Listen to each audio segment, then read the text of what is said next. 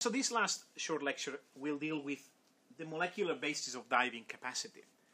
And I think that this, this uh, short lecture is going to be based on a single paper that was published in 2013 in the journal Science, and it's a, a, a, a paper, a publication that I particularly love.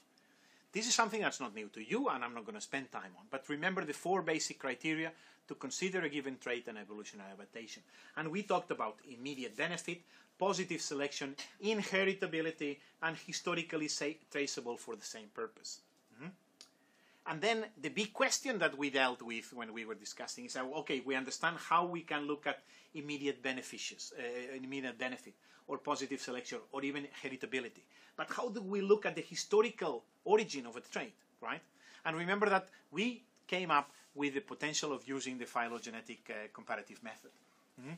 This paper actually has done this. This is a paper by uh, Scott Mirceta and Michael Berenbrink from the University of Liverpool, and they title Evolution of Mammalian Diving Capacity Traced by Myoglobin Net Surface Charge. Mm -hmm.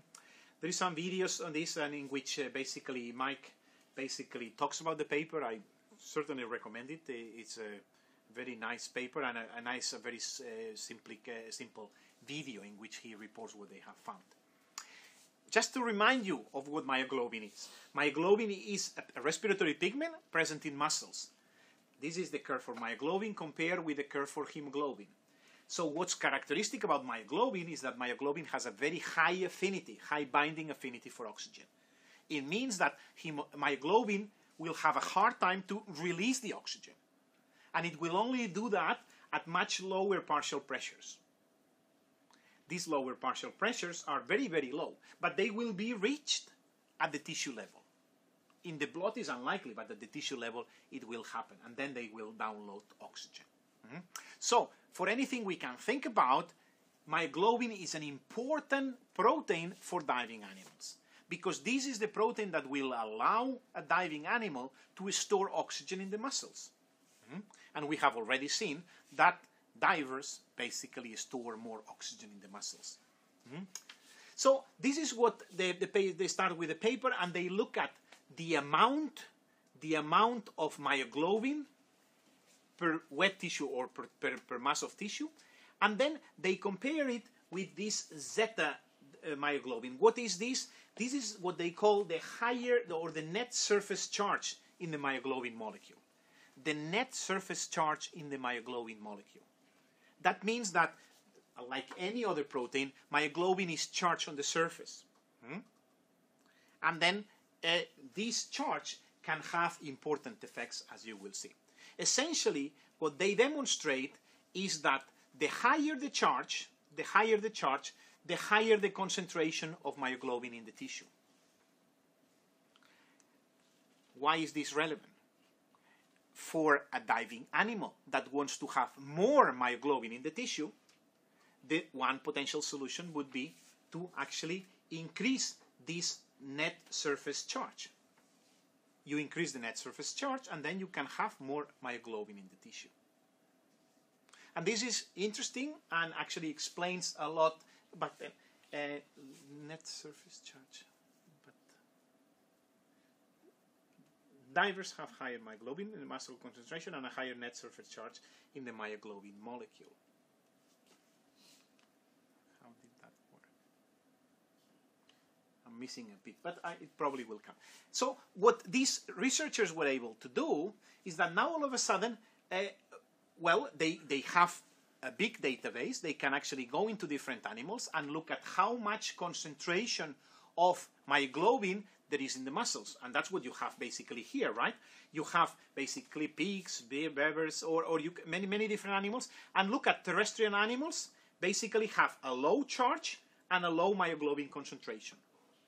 Semi-aquatic animals are in the middle. Aquatic animals, true seals, look at this here, have net surface charge and have uh, or high uh, high concentration of myoglobin. So it seems that more myoglobin, more a higher uh, surface charge. Mm -hmm. What the authors then do is that they look at this from a phylogenetic perspective, and they take a look at this constructing a phylogenetic tree for all mammals, and looking, and that's what you have. The color shows you if it's blue, very the, the myoglobin net surface, surface charge is close to zero. If it's close to red, it's higher. Notice that there is a beautiful pattern that's emerging from this study. What is the pattern? That when you have diving animals, no matter in which branch of the tree, when you have diving animals, you have an increase of the net surface charge.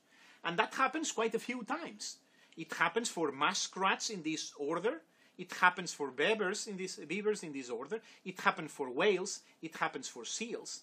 It happens even for platypus to some extent, if you want. Hmm? Why is this relevant, considering the phylogenetic comparative method? This is relevant in the phylogenetic comparative method because you see the occurrence in different lineages in which the ancestors did not have a higher surface charge.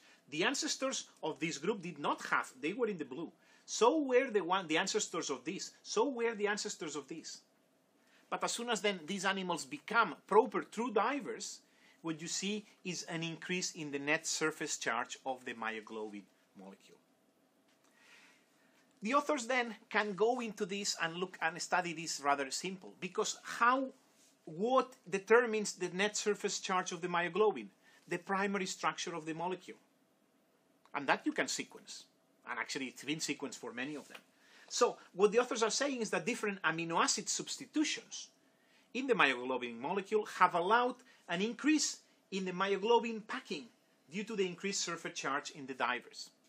So they, what they are actually associating is that a change in the surface charge of the myoglobin allows for more myoglobin being able to pack in the muscle by changing the surface charge by actually doing some amino acid substitutions. And they can look at this and trace it into the entire tree here. Hmm?